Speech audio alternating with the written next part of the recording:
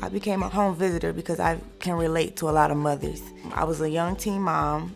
I was always discouraged and always told that I would never make it. I would be in the systems and things of that sort.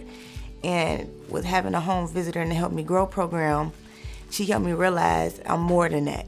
So my home visitor, when she comes, it's like having a, a friend. If I haven't had a home visitor, I think I would probably be more stressed out. So when she tells me like I'm a good mother, it's like a reminder to myself because I may be overwhelmed that day. Or she just makes it like you're her family. One of her goals were going to school. I gave her resources that can help her with funding for school.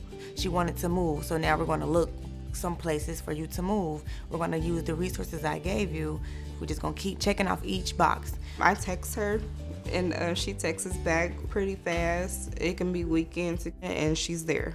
And she got a little discouraged because she didn't pass one of her final tests. We went over some guidance for her and her schoolwork, and then when I came back, she passed. And just to see her and come back and say, I passed, is what made me smile. I even shed a little tear. She's not giving up. Everyone has that moment where they need to be pushed, encouraged, motivated. I got a car.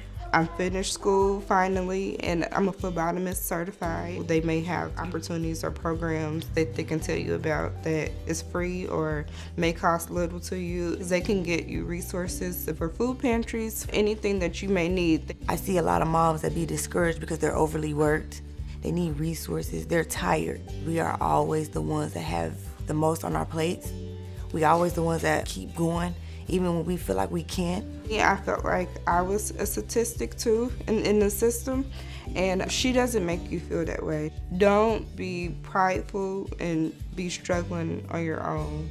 If I haven't had a home visitor, I don't think I would have been able to be a story for all these mothers that feel like they cannot make it.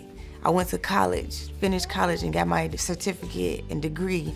And then she also just helped me raise my son I want the mothers to know they can make it. And I want them to know that it doesn't matter where you are in life, it's about moving forward.